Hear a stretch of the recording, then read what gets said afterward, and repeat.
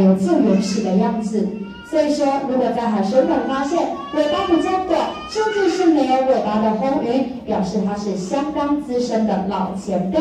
那么如果呢是尾巴比较长的，就是比较晚来到海参馆的啦。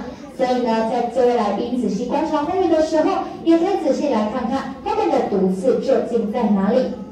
解说员教大家，如果是体型比较小的燕鸥呢？它的毒刺位置是在尾巴跟身体交界处的那一端。